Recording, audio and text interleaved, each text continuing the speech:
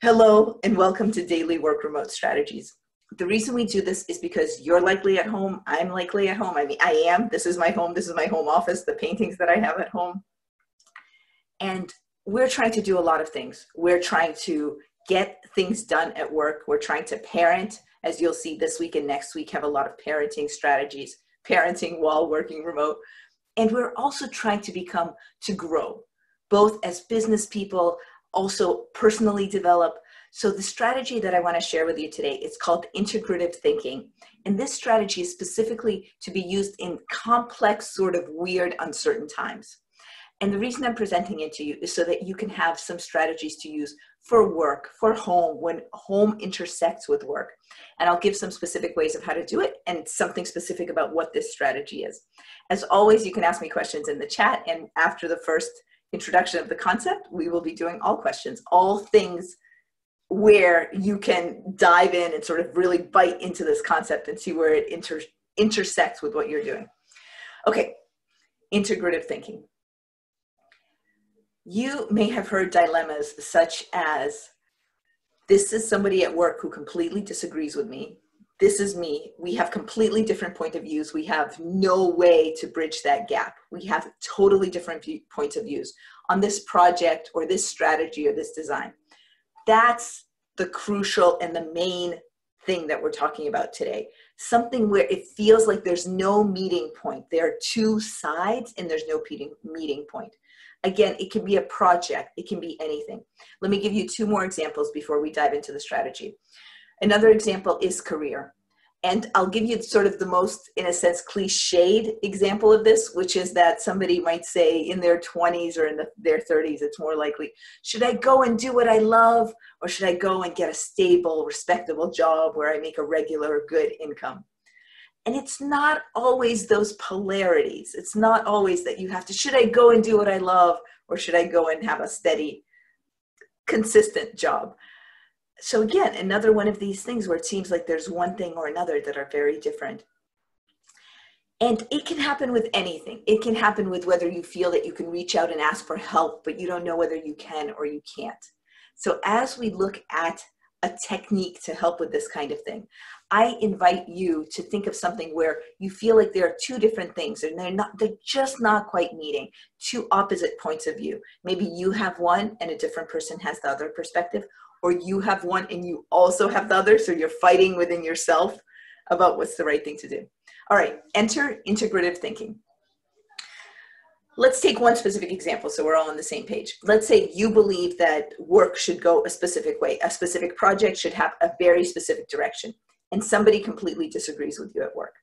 How can you apply this new strategy? What is integrative thinking and how can you apply it Integrative thinking is a, ter- is a term coined by Roger Martin, and I will be sharing one screenshot of an article that he wrote for HBR.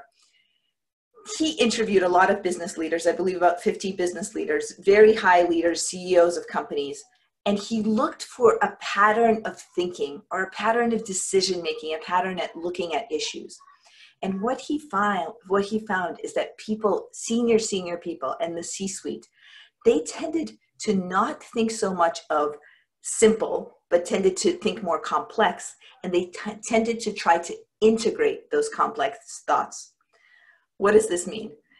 Every situation that we may face can be phrased as it's A or B. But we could also explore and try to get into the depth of A. What is it? What is it about A? What works? What doesn't work? We could explore and get into the depth of B. And in so doing, Roger Martin suggested that as he's interviewing these CEOs, they are taking the best of A and the best of B, and they're kind of letting it float up here, out here, so that they can integrate those concepts. What does this mean practically? I mean, that sounds very nice at a sort of meta level. Oh, it, it may not be an A or B thinking, but it might be more understanding the two concepts of A or B and trying to find common ground or trying to find something that's a spark that's even better than the best of A and the best of B. What it really is, is a shift from simplifying our thinking to, uh, I'm positive this is not a word, but a shift towards complexifying our, our thinking. Rather than saying, hey, I see these A and B, here's what A is about, here's what B is about, it's about what else? What are the other nuances of A? What else? What are the nuances of B? Now, you might also think, so I'm kind of giving you my own doubts as I learned about this theory of integrative thinking. You might also think, okay, so let's say I go more complex with A and I go more complex with B. Why would that necessarily lead to me coming to a conclusion that takes the best of A and takes the best of B? Maybe it's just getting more complex on A and more complex on B. You might be right. You might be right that as you try, try to go deeper here and deeper here, you actually don't get any kind of overlap or intersection, but you may get that overlap in that intersection. And the reason I'm bringing this up now is we have a lot of things on our plates that are this A or B that are pulling at us in two different directions. It could be like we're talking about this whole week parenting and working, and really just we're in the same location, we're in the same place. What are those things for you? So I'll take some of your comments and let's see if we can address some of those specific things. So here's Martin, Roger Martin's theory yes, you could think in A, A or B, or you could take more complexities. Don't simplify it. Don't look for just the one line simplification of what the position A is and what position B is. Actually, go deeper. Talk to people, get more nuance. Talk to people and get more nuance on position B, and then let it mull. Let it just mull in your head. That's the strategy of integrative thinking. I can also take you through the steps of decision making when you use integrative thinking. But at this point, I just want to pause. So, what I've done is I've said, look, rather than going fast or intuitive or just immediately making a decision, you could get a little more complex. Where does this apply to your life? Where does it not apply? I'll pause for a moment and let you put in some comments, and then I will share one visual that may help with this description. So I'm going to look at what your comments are right now.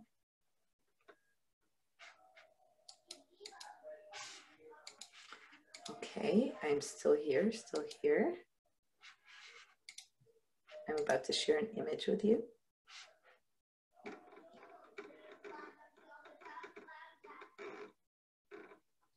Thank you for your patience. I'm just pulling this image up for us.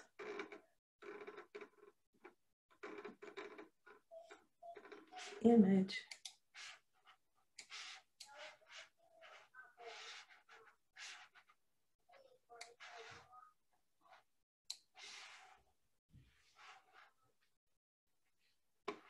Okay, so here I'm gonna uh, check out your comments on these things.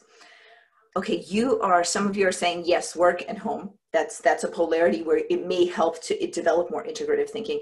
Some of you are saying situations at work, specific situations at work. You're not telling me which ones, but just specific situations. That's where I find this the most useful. All right, two more concepts as we sort of come to a conclusion about this idea of integrative thinking. One is the thinking of opposable thumb, and that's a Roger Martin analogy, the person who originated this theory. And the other is a path of thinking through the process, the overall process. Okay, opposable thumb. I think this is really delightful. So Roger Martin's uh, analogy here is that as animals, just as animals have an opposable thumb, and that's great, and that that led to a lot of different things that we can do. So too, my, people are able to develop their opposable mind.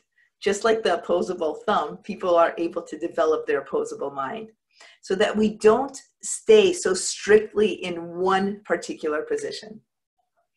One other way of thinking about this, and when I've coached CEOs and SVPs on this topic, one of the things that we talk about is surely when we were all in our 20s and likely even in our 30s, it ended up being simple to simplify and to say, oh, I completely believe, agree with A.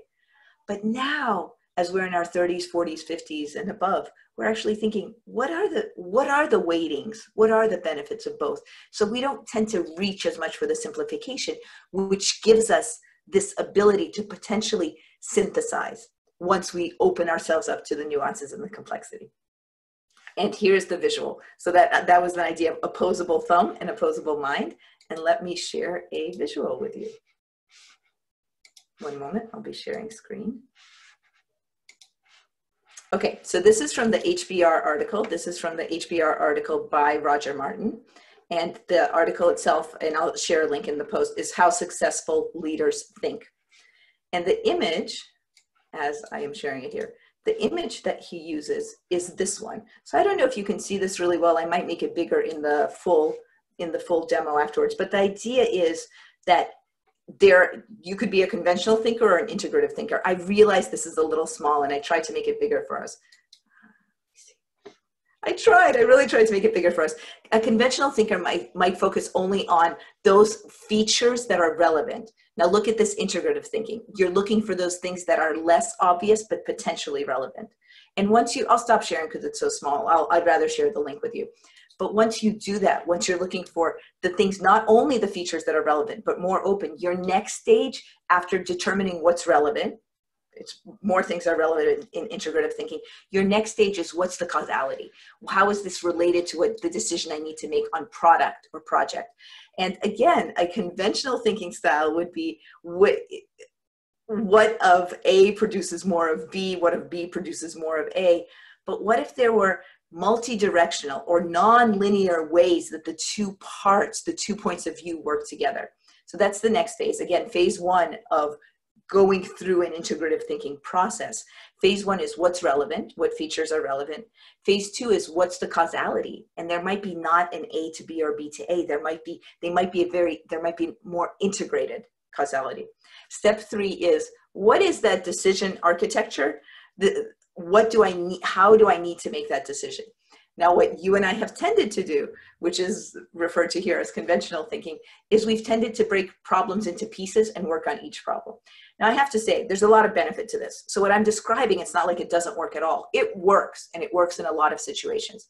But if you're in a situation in which it doesn't work, then consider the opposite. So, again, stage three is what, how do I make this decision? What's my decision architecture? For an integrative thinker, that becomes more where that problem, that A and B, that becomes more of a whole. And how do these parts fit together? And how does a decision about this one potentially affect something about this one? So now you're weighing things even as you're thinking of the decision you're going to make. And stage four is how do I resolve this? How do I resolve this? It's a point of tension, it's conflict. Again, our conventional thinking style would be I'm going to make an either or choice. I'm going to choose one. That's my role. I'm the senior person. I need to make that decision and I'm going to choose it out of the best, out of all the options, the best possible. But then this again, this more, almost in a sense, more relaxed, more holistic integrative thinking would now lead us to say, okay, let's resolve the tensions among these two opposing ideas and let's think of what's a completely previously unthought of, potentially innovative outcome. So I'll just summarize those four stages again. I'm going to determine what's relevant about A and B, and it's going to be more things that are relative, relevant in integrative thinking. I'm going to look at what's, how are they related? Where's the causality? And maybe they're related in uh, what Roger Martin refers to as multi-directional ways. Step three is I'm going to think about how am I going to make this decision? Am I going to work on the pieces or am I going to try to figure it out how they really continue to be related even as I shift the pieces? And finally, instead of making an either or decision, how can I create some innovative decision? Something that resolves the tensions but keeps the best parts of both. I hope this is helpful to you, specifically on decisions that you need to make, on things that are in your mind. And I'll give you as an ending example a discussion that I had with a colleague recently. This is someone I really admire, someone who, who's in just an incredible mind in business. And one person, I, I always call my examples uh, Joe, just to not give any more information about the person. One thing Joe was thinking about is what career decision should I make? Should I do more consulting and grow my consulting business? Or should I go more in house in a company? Now, those are very A or B decisions. Is there a way to integrate them? Is there a way to consult towards the goal of potentially working with that company longer term? Is there a way to work on projects with a company that are a consulted, consultative way, but really at the core of what's important to the company? I don't know. And it may be different for Joe than it is for Jane, to use two very, very short J names. I welcome you into this kind of thinking. It's messy, it's strange, it might not work the first few times you get you try it, but I will link also to the article so you have some other references, and I'll be doing that now. Thank you so much for joining us. This has been Daily Work Remote Strategies. We're here every day at 11 a.m. Pacific for 20 minutes. Tomorrow is Friday. On Fridays, we always have at least a two-person panel, two or three, and it's us coaches answering questions that you have. Thank you for being with us. I'm going to stay on while I post the links, so if questions come up, I would be happy to answer them. Thank you. Okay, I am posting links and checking whether you have specific questions for me. You look all set. Thank you. Thank you as well for coming. Thank you for saying that. I'll be posting the links and I will see you again at 11 a.m. Pacific the next day. Thank you. All the best.